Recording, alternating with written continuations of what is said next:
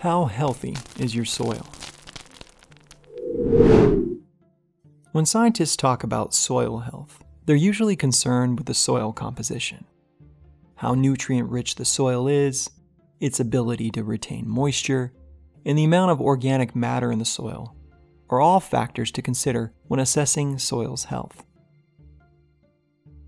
In the southeastern United States, conventional tillage and long fallow periods, or lengths of time where arable land is left unplanted, have resulted in a significant loss of organic matter in soil. This, in turn, has led to soil organic matter oxidation and erosion.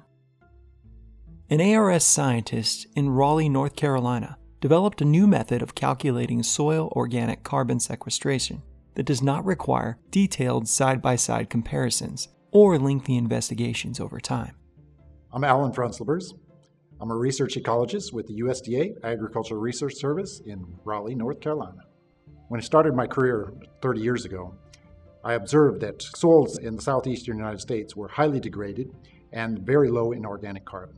There was good evidence that carbon in the soil could be increased if we left the soil undisturbed, and that carbon accumulates at the surface.